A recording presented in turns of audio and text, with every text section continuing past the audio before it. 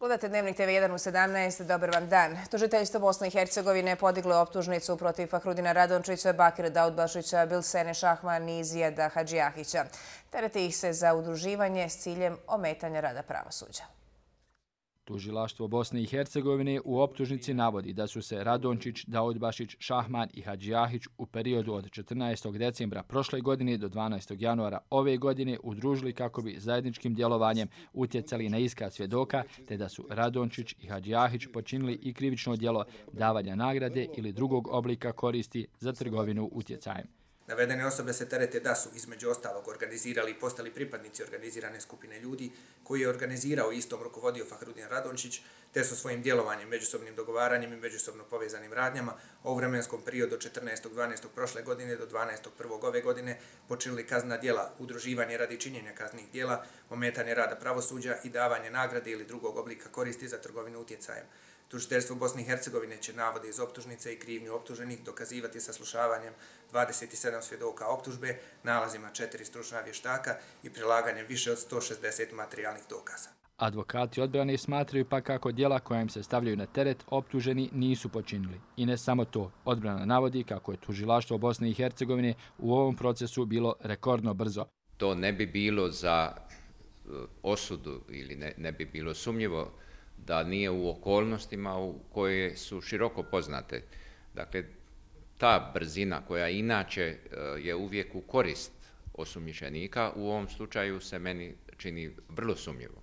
Odbrana optužnicu još nije dobila, jer je prosljeđena na potvrđivanje sudu Bosne i Hercegovine. Sud ima rok od 8 dana da potvrdi ili odbaci optužnicu, a do tada bi trebalo biti poznato i da li optuženi ostaju u pritvoru ili će im biti određene mjere zabrane.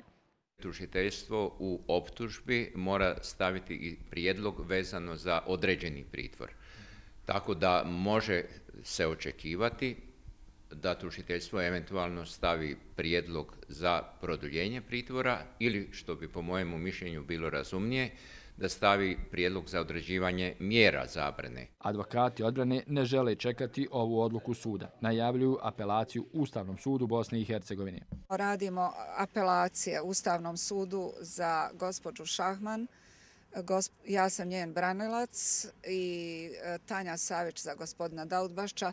Već smo podnijeli apelacije. E, također radimo na radi e, gospodin Barbarić Eh, gospodin Crnalić eh, i ja radimo na apelaciji eh, gospodina Radončića Ustavnom sudu. Fahrudin Radončić, Bakir Daudbašić i Bilsena Šahman trenutno se nalaze u pritvoru. Zijad Hadžijahić, službenik ambasade Sjedinjenih američkih država u Bosni i Hercegovini, nije uhapšen. Vidjeli smo izjavu Vesvi Vidović, međutim ona je došla prije najnovije vijesti koja kaže da Bakir Daudbašić i Bilsena Šahman izlaze na slobodu. Potvrdila ovo Daudbašićeva odvjetnica Tatjana Savić. Naime, tužiteljstvo je predložilo sudu za Daudbašića i Šahman određivanje mjere zabrane umjesto produženja pritvora.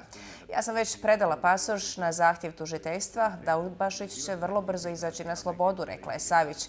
Iz tužiteljstva je priopćeno da su za Daudbašića i Šahman zatražili kućni pritvor. Savez za bolju budućnost izrazio je zabrinutost zbog ishitrenog poteza tužiteljstva Bosne i Hercegovine da podigne optužnicu protiv predsjednika SBB-a Fahrudina Radončića. SBB čvrsto stoji iza predsjednika Radončića i uvjereni su u njegovu nevinost. Smatramo da će istina biti najbolji odgovor na pokušaje očiglednih političkih i montiranih procesa, kaže se u reakciji SBB-a. U Sarajevu je održan sastanak e, koalicijonih partnera SBB-a, SDA, stranke za BiH i ASDA. Sa sastanka je poručeno da koalicija je stabilna i dodatno ojačana. Iako je sastanak održan danas, na dan kada je podignuta optužnica protiv Farhudina Radončića, Izetbegović je kazao da u tome nema nikakve simbolike i da je to samo koincidencija. Da li je ova koalicija trenutno stabilna? Da, i danas smo je potvrdili i danas smo potvrdili, dakle, zato su i, i, i ostali ovaj, sa nama iz SBH i iz ASDA, da ne bilo ovaj, spekulacija bez time. Ona je stabilna, mi želimo ostati zajedno i mi želimo pojačati i, i ubrzati rad te koalicije. Kako komentaršete tu, tu činjenicu da je evo i vi ste bili svjedok um, u tužilaštvu, da je ipak tako brzo podignuta optužnica protiv gospodina Radličića? Mislim, ako to treba da se desi, bolje da ide brže, da se stvar ne razvlače. Mi smo i tražili da, da, da, da ovaj sud svoj posao radi, ali da radi ga što brže. Nadam se da, da će čitav proces ovaj, teči, teči ubrzano tako da, da imamo eh, jedno olakšanje, nadam se uskoro po tom pitanju. Činjenica da je jedan od e, kandidata za ministra protiv njega podignuta optužnica, jer to znači da, da će savjet ministara e, raditi u krnjim sazivu ili očekujete od SBB-a neko novo ime? Postoje mogućnosti tu ili imenovanja novog ili uh, opoziva ovoga ili tu razne mogućnosti postoje, ali to ćemo vrlo brzo zauzeti stav oko tog pitanja. A kako vi komentaršete ovako brzo podizanje optužnice i samo optužnice? Pa dobro, znate, ovaj, proces koji je tu jednim dijelom iza nas je ukazao da postoje tu ozbiljne primjedbe, pa i neke procjene koje govore ovaj, dosta toga, ali e, složio bi se i s time e, da, da je istina je najvažnija i mi imamo interes da se što moguće prije dođe do istine. Mi očekujemo da istina bude ta koja će dati odgovor konačno na sve ovo. Oglasilo se i Središnje izborno povjerenstvo Bosne i Hercegovine. Kažu, nema elemenata za oduzimanje mandata i zaslaniku Domu naroda Parlamentarne skupštine Bosne i Hercegovine Fahrudinu Radončiću, bez obzira na odluku tužiteljstva Bosne i Hercegovine da protiv njega podigne optužnicu za više kaznenih dijela.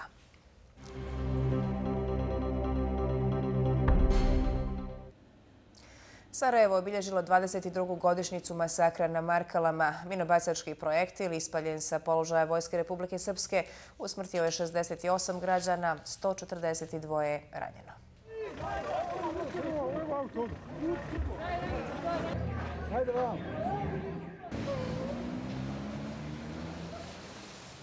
Pijaca Markale bila je jedno od rijetkih mjesta gdje se mogla kupiti, prodati ili zamijeniti hrana tokom rata.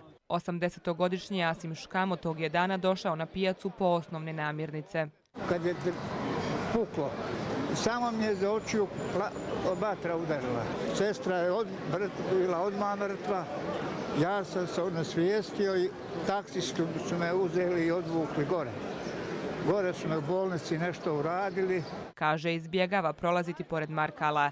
Sa druge strane, Rafet Skenderović je na dan masakra kao i svaki drugi dan radio na pijaci. Imao je svoj štand. Krenuo sam na kafu, ja i Subašić i Škrijen. I ovdje gdje ovaj, gore ovaj kios prvi, tu, njih su dvojica poginuli, ja sam samo ovako ostao. Trebalo mu je malo vremena da shvati šta se događa. Ne mora se opisati to kako je dok ne vidiš očima to je, gazili smo preko mrtvija da bi spasili život jednom ili drugom djetetu. Ali krv je tekla od do tramaja dole. Znači, to je užasno. Ne, Geller ne bira. Nakon toga je pomagao preživjelima da prenesu povrijeđene u auta kako bi bili odvezeni u bolnicu. Dežurni ljekar tog dana u vojnoj bolnici bio je Sead Bašić. Vrlo brzo posle toga Čule su se na ulazu u bolnicu sirene, auta, vrisak, plač, deranje, jedan, jedan opšti haos. Ljekari su već bili izverzirani kada čuju nekoliko eksplozija, znaju da će doći ranjeni građani, kaže Bašić, te dodaje kako su markale najveći ožiljak koji nosi iz proteklog rata. U Narodnom pozorištu Sarajevo održana je komemorativna sjednica na kojoj su prisustvovali članovi Skupštine kantona Sarajevo, gradskog vijeća i općinskih vijeća sa područja kantona Sarajevo, kao i porodice stradalih. Niko ne može utješiti roditelje koji su tamo izgubili svoje djecu i rodbinu koji su uh, izgubili svoje najbliže. Naša je dužnost da svake godine obilježimo komemoracijom i polaganjem vijenaca uh, te žrtve.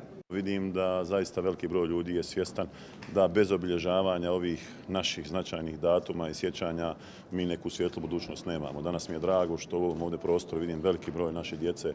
Historija se mora prenositi sa koljena na koljeno, naglasio je Konaković. U masakru na Markalama je ubijeno 68, a ranjeno 142 civila. Za ovaj zločin pred Haškim sudom pravosnažno je osuđen Stanislav Galić, komandant Sarajevsko-romanijskog korpusa Vojske Republike Srpske. Dvije godine je prošlo od masovnih prosvjeda koji su počeli u Tuzli. Čime su rezultirali? Priču donosi Vahidin Mujanić. U Tuzli, gdje je i počela buna, danas je obilježena njena druga godišnica. Na simboličan način sindikalisti i obespravljeni radnici pred spaljenom zgradom vlade Tuzlanskog kantona ponovo su iskazali svoje nezadovoljstvo radom onih koji nas predstavljaju. Mi obilježavamo najsvjetliji datum u istoriji borbe, u novijoj istoriji borbe za radnička prava u Bosni i Hercegovini. Dakle, po prvi puta, 5. februara 2014. godine, narod je ovaj, ustao, pobunio se protiv korumpirane i u kriminalu ogrezle vlasti. Još je gora situacija kada je u pitanju život građana, ali nažalost, evo, vidite i danas slab oziv, ja sam razočaran ovim ozivom, da ne živim u ovoj zemlji, mislio bi da je stanje zaista bajno. Rezime protesta iz 2014. godine je dvije spaljene zgrade u Tuzli. Zgrada općine koja je renovirana i zgrada vlade Tuzlanskog kantona koja i dan danas zjapi porušena. Šteta mjerena u novcu je 2,5 miliona maraka. Tužilaštvo TK već dvije godine vodi istragu protiv osam osoba. Optužnice još nema. Za krivično djelo Paljevina eh, je dostavljen izveštaj prvobitno za šest osoba, nakon toga eh, još za dvije osobe i Ministarstvo unutrašnjih poslova Tuzlanskog kantona je okončalo dakle, dostavljane svoje izveštaje za osam osoba koji su sumničeni za, za ovo krivično djelo. Vehid Jahić, 40 godina je radio kao dopisnik oslobođenja. On kaže da nam se protesti nisu isplatili jer je vlast gluha na probleme sirotinje. Protesti se nisu isplatili, problem je u činjenici da je vlast povezana od mjesne zajednice do države. Oni su razbili sve kategorije građana koje pljačkaju radnike, nezaposlene, penzionere, sve praktično kategorije i sav problem je organizovanosti radnika, radničke klase. Njih nema ko da povede da se bore za svoja prava, za principe koji vladaju u Evropi. A rezultat protesta je smjena vlade Seada Čauševića. Posle toga na vlast je došla ekspertna vlada Bahrije Umihanića, koju su izabrali predstavnici sindikata i plenuma, koji su formirani nakon februarskog haosa. Ta vlada se vrtila u krug i niti jedan gorući problem nije riješila. Trenutno je na vlasti reformska vlada na čelu sa Begom Gutićem. Broj nezaposlenih u ovom kantonu je povećan. Radnici dalje održavaju proteste, a četiri velike firme su otišle u stečaj. Riječ je o Diti, Aidi, TTU i Livnici Čelika Tuzla. Neki od radnika su otišli u penziju, ali većina na biro država pokazuje apsolutnu neosjetljivost i uvijek sve probleme prebacuje na nekog drugog, ali zaboravlja da je ona upravo odgovorna zašto je dozvolila da radnici koji rade, koji su zaradili svoju platu, ne, pri, ne primaju platu po 7-8 mjeseci, to odgovornost isključivo države. Međutim, koliko građani zaista žele promjene, pokazuje i činjenica da se na današnjem protestu pojavilo jedva dvije stotine građana kantona koji ima stotinu hiljada nezaposlenih. Radnici Livnice Čelika nakon 12 dana štrajka glađu, kako su i najavili, od danas odbijaju vodu, lijekove i bilo kakvu medicinsku pomoć. Livnica Čelika Tuzla od prošle godine u stečaju, a radne knjižice ovih radnika se vode na fiktivnoj firmi Bosnija Valves, koja nema dovoljno kapitala, a za koju je kantonalna vlada tek predvidjela stečaj. Moglo je puno bolje, tako je rad parlamenta i vlade Federacije Bosne i Hercegovine u 2015. ocjenjen u izvješću Centra civilnih inicijativa. Ova nevladina organizacija predstavila je danas i paket prijedloga za unapređenje budućeg rada parlamenta i vlade Federacije. Politička kriza u Federaciji u 2015. godini prema izvještaju Centara civilnih inicijativa najdramatičnije se odrazila na rad predstavničkog doma parlamenta Federacije rezultati su lošiji nego i u jednoj godini prethodnog mandata. I to značajno lošiji po broju održanih zasjedanja, po vremenu provedenom na zasjedanjima, po broju razmotrenih mjera i po broju usvojenih zakona. Rezultati Doma naroda nisu tako izražajno loši, ali su i oni ispod prosjeka prethodnog mandata po svim parametrima. Ukupan broj donesenih zakona značajno se povećao u četvrtom kvartalu, ali ne dovoljno da popravi sliku o radu predstavničkog doma.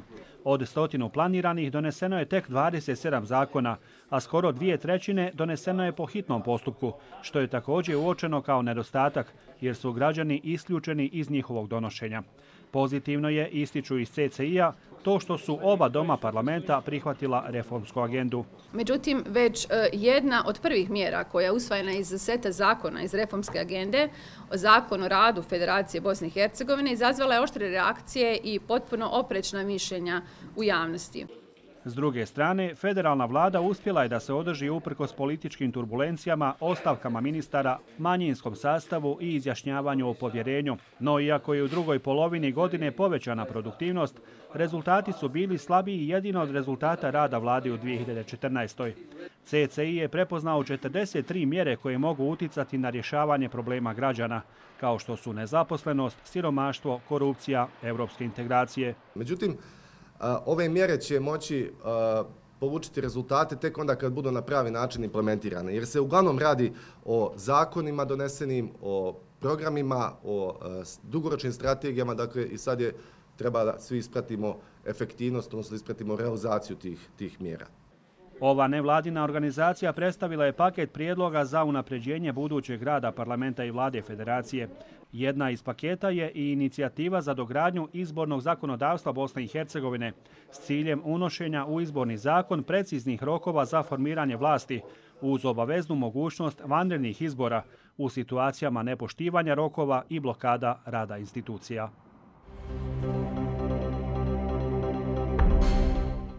Svijet, skupina neovisnih stručnjaka UN-a objavila je danas svoje mišljenje da je osnivač Wikileaksa Julian Assange nezakonito pritvoren u ekvadorskom veleposlanstvu u Londonu. Preporučuju također da bi trebao biti oslobođen i obeštećen. Assange je jučer rekao da će napustiti ekvadorsko veleposlanstvo u Londonu i prihvatiti uhićenje u petak ako UN-ova radna skupina donese odluku protiv njega. Ali je naglasio da očekuje da mu se vrati putovnica i zastave, zaustave svi daljni pokušaj uhićenja ako odluka bude u njegovu korist. Glavni tajnik NATO-a Jens Stoltenberg kazao je danas u Amsterdamu kako ruski zračni napadi koji u velikoj mjeri za metu imaju oporbene snage podkopavaju mirovne pregovore u Siriji. Stoltenberg je u izjavi prije sastanka ministara obrane za manja članica Europske unije izrazio je podršku mirovnom rješenju sirijske krize. A na donatorskoj konferenciji u Londonu prikupljeno je više od 10 milijardi dolara za pomoć milionima sirijaca žrtava sukoba. Britanski premijer David Cameron potvrdio je da su na skupu na kojem su sudjelovali lideri 70-ak zemalja prikupljena sredstva koja uključuju skoro 6 milijardi dolara obećanih za 2016. kao i još 5 milijardi dolara do 2020. godine. Evo toliko u dnevniku u 17, u 19 sati. Sa vama je Sanjin Bećiragić, a njegovi gosti uživo bit će Dalida Burzić i Amel Tuka. Doviđenja.